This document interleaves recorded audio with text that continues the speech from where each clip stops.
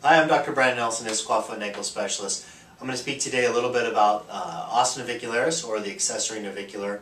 Um, basically, the accessory navicular is a small little bony growth that can, can occur congenitally, meaning that it's there when you're born, and it sits right here in your posterior tibial tendon.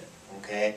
Now, your posterior tibial tendon is the the, the, one of the largest tendons in the, in the foot, and the job of this tendon is to hold up your arch, okay? And this little bone sits right here where this navicular is, okay, and that tendon attaches, all right?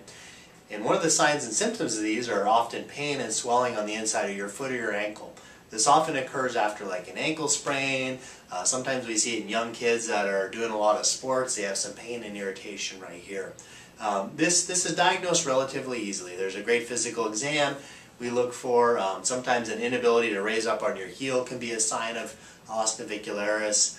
Um, sometimes we'll take an x-ray and we can actually visualize that bone where it attaches there at the posterior tibial tendon. Um, the treatments are relatively straightforward. You know, one of the most important things is, is functional bracing, basically trying to relieve pressure of that posterior tibial tendon. Uh, sometimes some casting has to be done, sometimes some physical therapy to strengthen that tendon.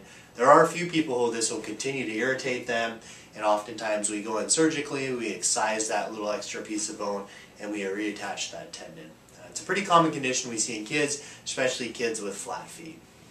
Thank you.